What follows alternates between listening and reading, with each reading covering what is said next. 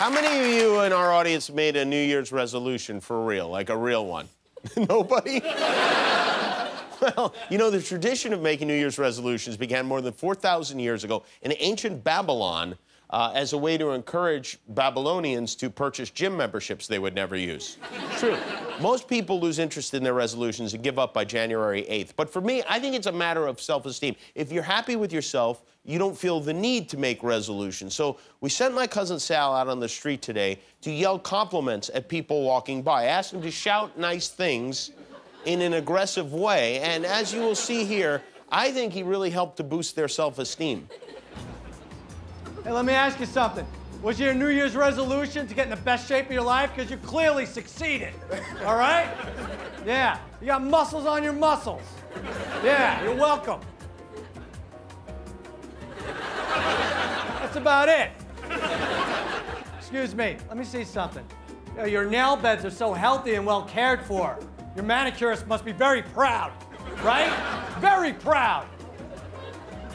Hey, let me ask you something. You exfoliate because you have perfect skin. You ever heard that before? Oh, I have actually heard that. You have? Who told you that? Because that person's a genius. Yeah, me and others, right? Congratulations on the skin. Oh, face. Yeah, give me a hug. Let me rub it up against that skin. Oh, nice. Beautiful. Hey, sir, was your New Year's resolution to have the best looking family ever? You must be so proud of your beautiful family, right?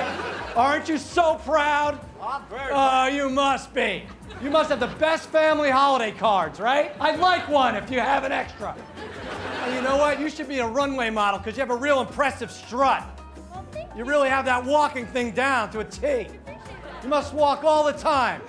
And your eyes are so symmetrical, too. Perfect distance apart. Yeah, you're like the opposite of a Picasso painting. And I like your wings.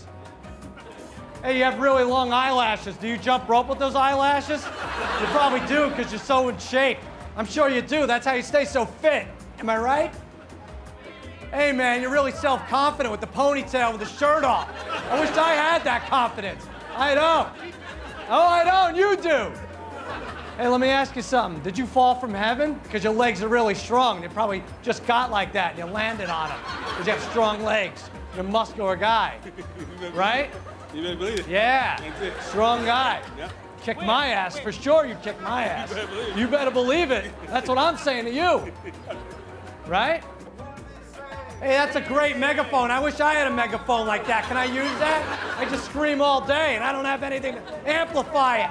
I got a raspy voice at the end of the day. But not you. You thought ahead. Really smart. And you're friends with Jesus.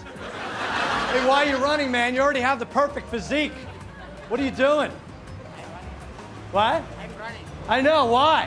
Why? Because I wanna do. You look perfect already. It's okay. Don't tell me. You don't need to run. You look perfect, all right? It's okay. Cut out the running. Just cut it out. Why? You look Why? great. It's okay. You look It's my- great. It's my problem. It's your problem. You look great. Okay, but don't give me. Hey, I'm telling you, you look great. Don't tell me anything. You look great, all right? I don't care what you say. Stop running. You look great. You look great. Ah! Some people don't know how to take a compliment, They're very nicely done, sir. Beard is like a testosterone forest. Uh, Any you. woman would like to dive into it. Take him out of here. Get Guillermo. out. That's Cousin Sal. Hi, I'm Jimmy Kimmel. Did you know there are things other than pornography on the internet? Watch them on the Jimmy Kimmel Live YouTube channel, which, much like your own body, I encourage you to explore.